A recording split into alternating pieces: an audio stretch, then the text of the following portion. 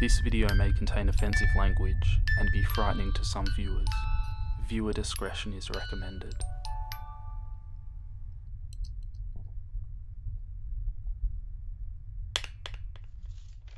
Excerpt from a local newspaper. Ominous unknown killer is still at large. After weeks of unexplained murders, the ominous unknown killer is still on the rise. After little evidence has been found, a young boy states that he survived one of the killer's attacks and bravely tells his story. I had a bad dream, and I woke up in the middle of the night, says the boy. I saw that for some reason the window was open, even though I remember it being closed before I went to bed. I got up and shut it once more. Afterwards, I simply crawled under my covers and tried to get back to sleep. That's when I had a strange feeling, like someone was watching me. I looked up and nearly jumped out of my bed. There, in the little ray of light escaping from between my curtains, were a pair of eyes. They weren't regular eyes. They were dark, ominous eyes. They were bordered in black and just plain terrified me. That's when I saw his mouth, a long horrendous smile that made every hair on my body stand up. The figure stood there, watching me. Finally, after what seemed like forever, he said it. A simple phrase, but said in a way only a madman could speak. He said, Go to sleep. I let out a scream. That's what sent him at me. He pulled up a knife, aimed at my heart. He jumped on top of my bed. I fought him back. I kicked, I punched, I rolled around, trying to knock him off me. That's when my dad rushed in. The man threw the knife. It went into my dad's shoulder. The man likely would have finished him off if it wasn't for one of the neighbours who had alerted the police. They drove into the parking lot and ran towards the door. The man turned and ran down the hallway. I heard a smash, like glass breaking. As I came out of my room, I saw the window that was pointing towards the back of my house was broken. I looked out of it to see him vanish into the distance. I can tell you one thing. I will never forget that face. Those cold, evil eyes. And that psychotic smile. They will never leave my mind. Police are still on the lookout for this man. If you see anyone that fits the description in this story, please contact your local police department. Jeff and his family had just moved into a new neighbourhood. His dad had got a promotion at work, and they thought it'd be best to live in one of those fancy neighbourhoods. Jeff and his brother Lou couldn't complain though. A new better house, what was not to love? As they were getting unpacked, one of their neighbours came by. Hello, she said. I'm Barbara. I live across the street from you. Well, I just wanted to introduce myself and to introduce my son. She turns around and calls her son over. Billy, these are our new neighbours. Billy said hi and ran back to play in his yard. Well, I'm Margaret, said Jeff's mum.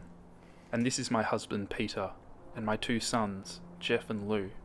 They each introduced themselves, and then Barbara invited them to her son's birthday.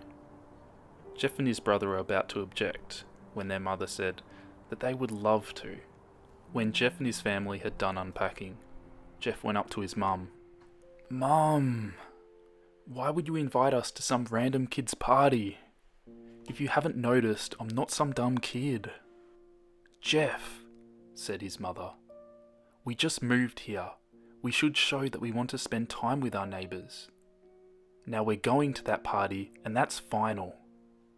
Jeff started to talk, but stopped himself, knowing that he couldn't do anything. It seemed like whenever his mum said something, it was final.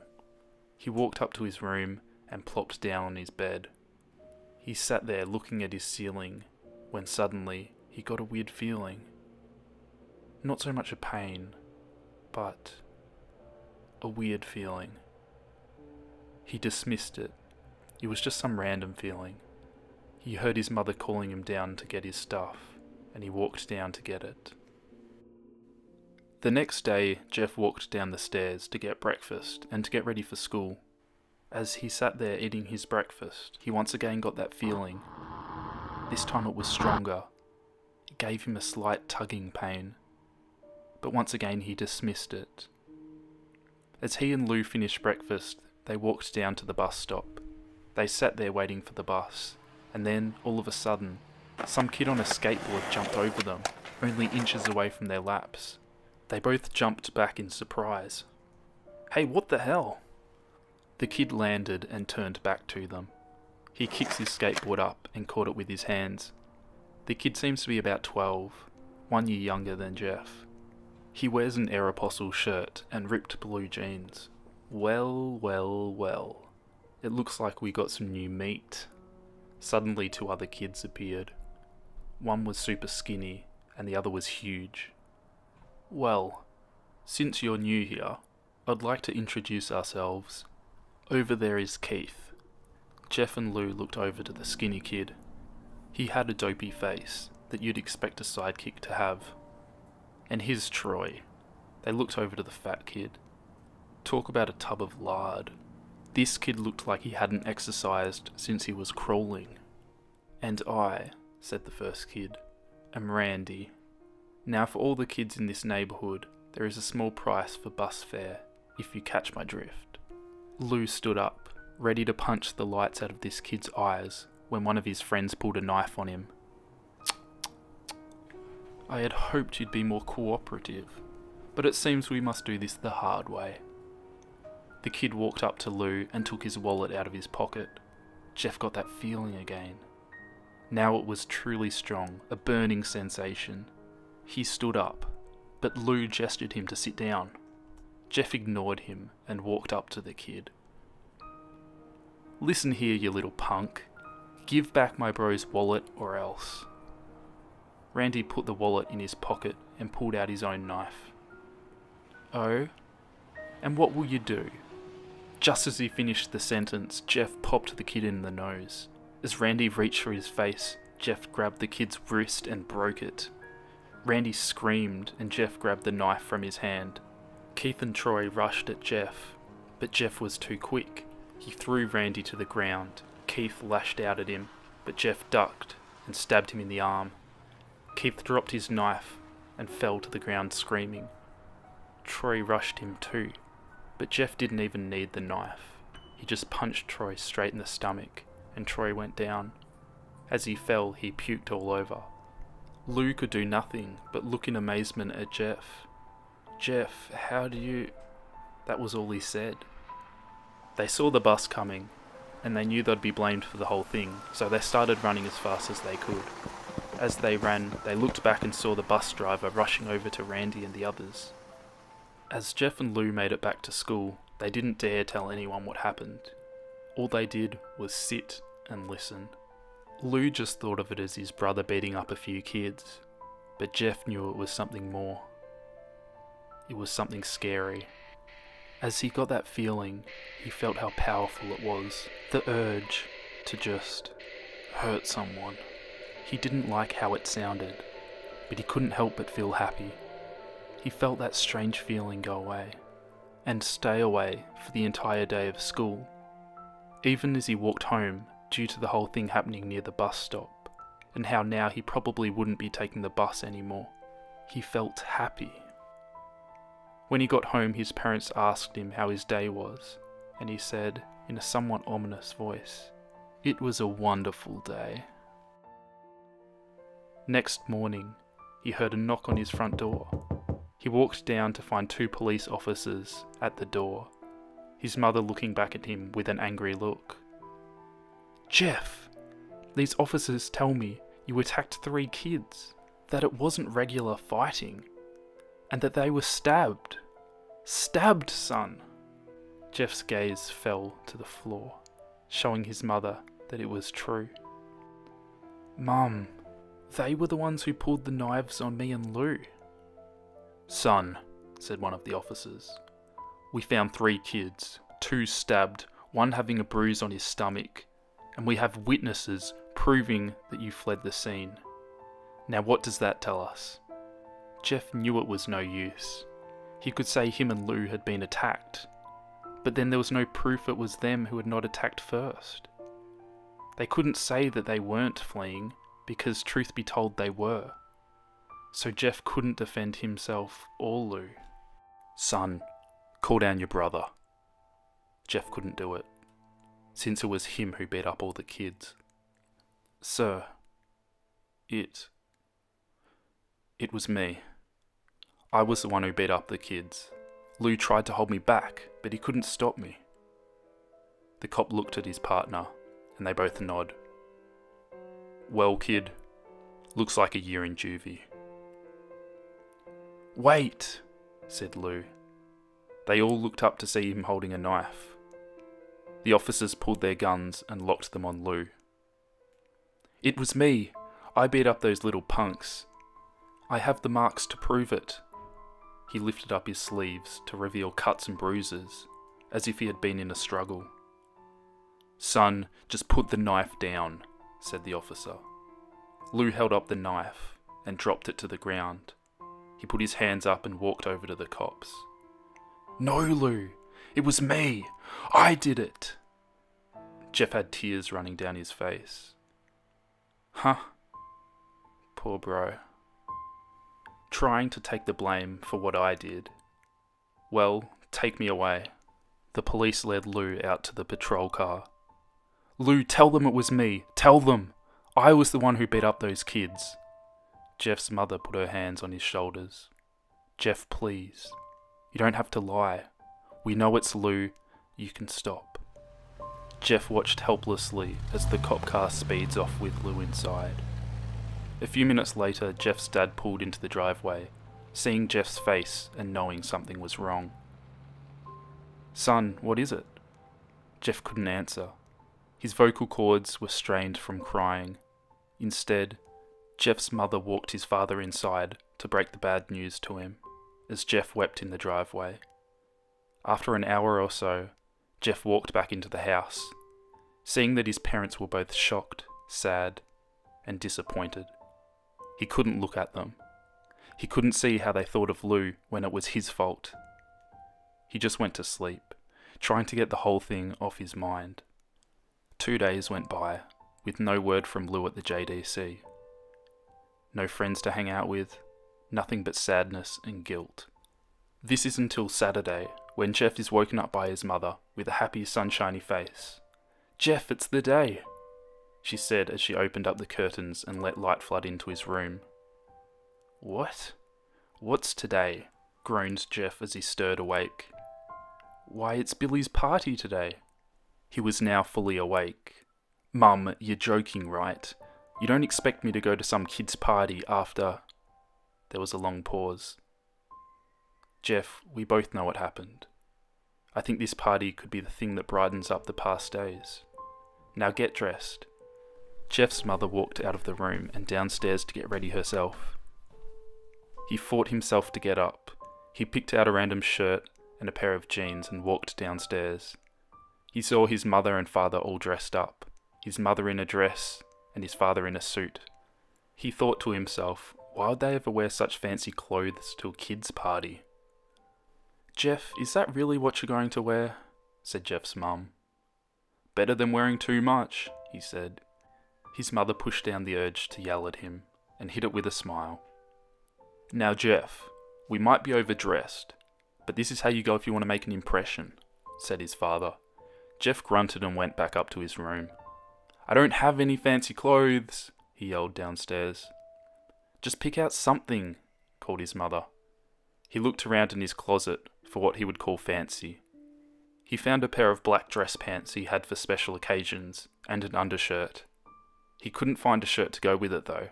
He looked around and only found striped and patterned shirts, none of which go with dress pants.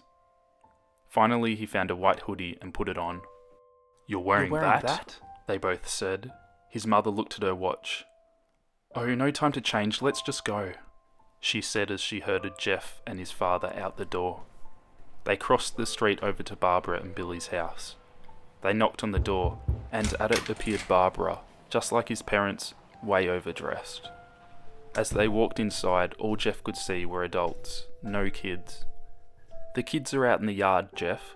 How about you go and meet some of them? said Barbara. Jeff walked outside to a yard full of kids. They were running around in weird cowboy costumes and shooting each other with plastic guns. He might as well be standing in a Toys R Us. Suddenly, a kid came up to him and handed him a toy gun and hat. Hey, wanna play? he said. Uh, no, kid. I'm way too old for this stuff. The kid looked at him with that weird puppy dog face. Please? said the kid. Fine, said Jeff. He put on the hat and started to pretend to shoot the kids. At first, he thought it was totally ridiculous, but then he started to actually have fun. It might not have been super cool, but it was the first time he had done something that had taken his mind off of Lou. So he played with the kids for a while, until he heard a noise. A weird rolling noise. Then it hit him. Randy, Troy, and Keith all jumped over the fence on their skateboards. Jeff dropped the fake gun and ripped off the hat. Randy looked at Jeff with a burning hatred.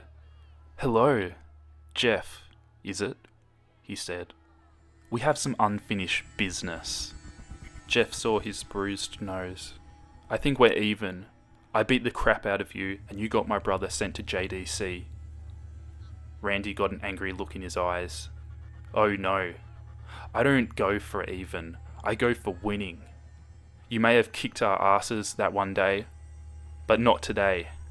As he said that, Randy rushed at Jeff. They both fell to the ground. Randy punched Jeff in the nose, and Jeff grabbed him by the ears and headbutted him. Jeff pushed Randy off of him, and they both rose to their feet. Kids were screaming and parents were running out of the house. Troy and Keith both pulled guns out of their pockets. No one interrupts us or guts will fly, they said. Randy pulled a knife on Jeff and stabbed him in the shoulder. Jeff screamed and fell to his knees. Randy started kicking him in the face. After three kicks, Jeff grabbed his foot and twisted it, causing Randy to fall on the ground. Jeff stood up and walked towards the back door. Troy grabbed him. Need some help? He picks Jeff up by the back of the collar and throws him through the patio door. As Jeff tries to stand, he is kicked down to the ground. Randy repeatedly starts kicking Jeff until he starts coughing up blood. Come on, Jeff, fight me. He picks Jeff up and throws him into the kitchen. Randy sees a bottle of vodka on the counter and smashes the glass over Jeff's head. Fight! He throws Jeff back into the living room. Come on, Jeff, look at me. Jeff glances up, his face riddled with blood. I was the one who got your brother sent to JDC. And now you're just gonna sit here and let him rot in there for a whole year? You should be ashamed. Jeff starts to get up. Oh, finally, you stand and fight. Jeff is now on his feet, blood and vodka on his face. Once again, he gets that strange feeling, the one he hasn't felt for some time now. Finally, he's up, says Randy as he runs at Jeff. That's when it happens. Something inside of Jeff snaps. His psyche is destroyed. All rational thinking is gone. All he can do is kill. He grabs Randy and pile drives him to the ground. He gets on top of him and punches him straight in the heart. The punch causes Randy's heart to stop. As Randy gasps for breath, Jeff hammers down on him, punch after punch, blood gushing from Randy's body until he takes one final breath and dies. Everyone is looking at Jeff now. The parents, the crying kids, even Troy and Keith, although they easily break from their gaze and point their guns at Jeff. Jeff sees the guns trained on him and runs for the stairs. As he runs, Troy and Keith let out fire on him.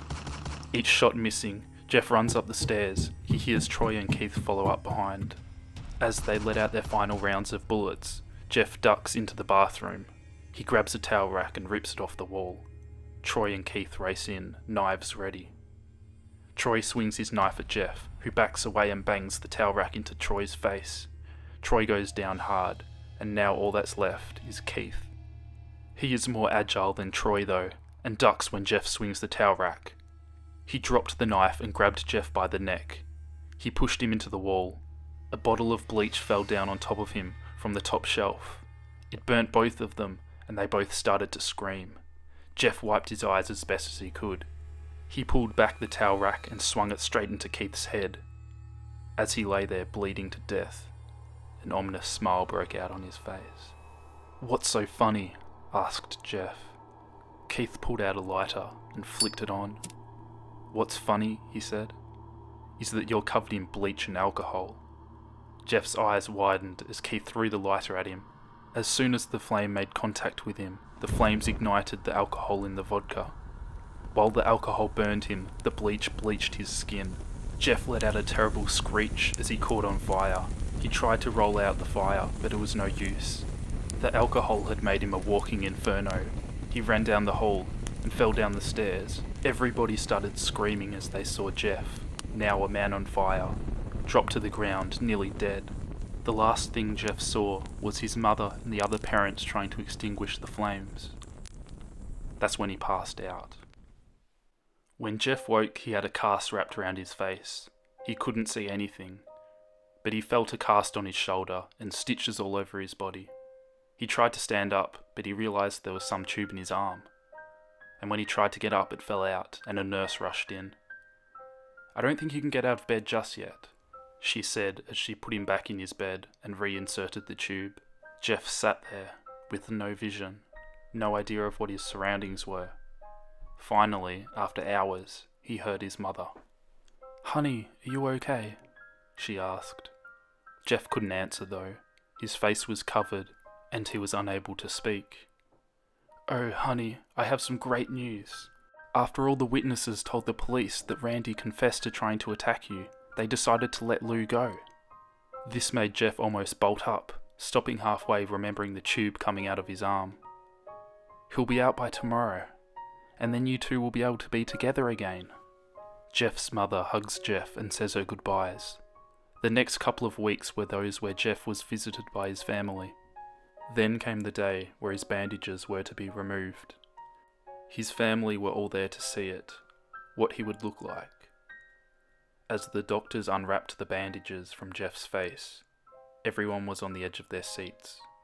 They waited until the last bandage holding the cover over his face was almost removed. Let's hope for the best, said the doctor. He quickly pulls the cloth, letting the rest fall from Jeff's face.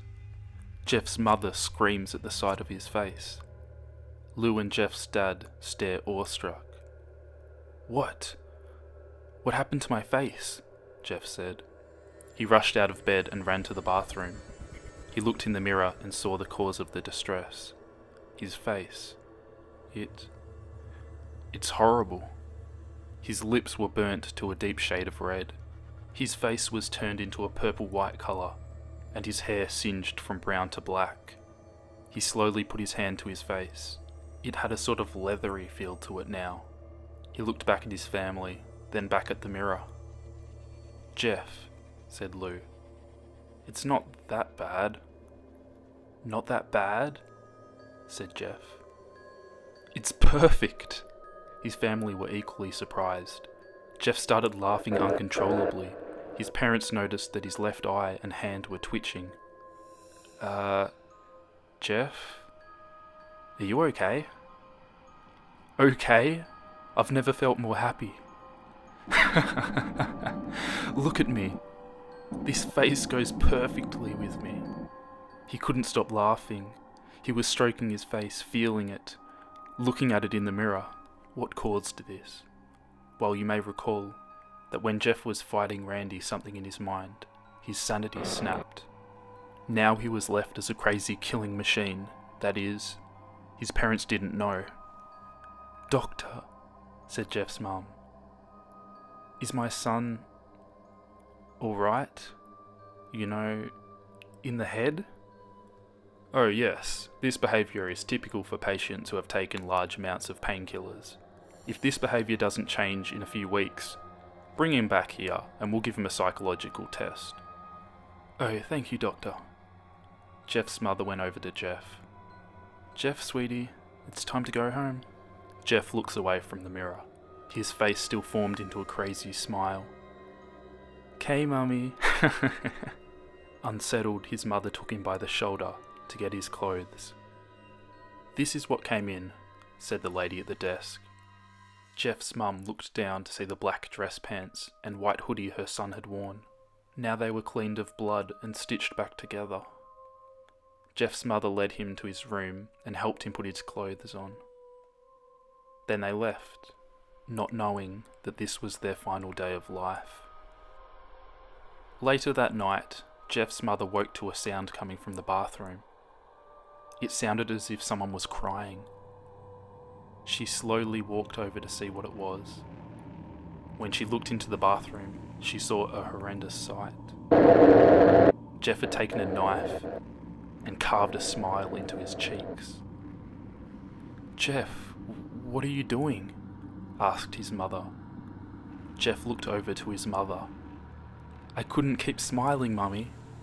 It hurt after a while. Now I can smile forever. Jeff's mother noticed his eyes ringed in black. Jeff, your eyes. His eyes were seemingly never closing. I couldn't see my face. I got tired and my eyes started to close.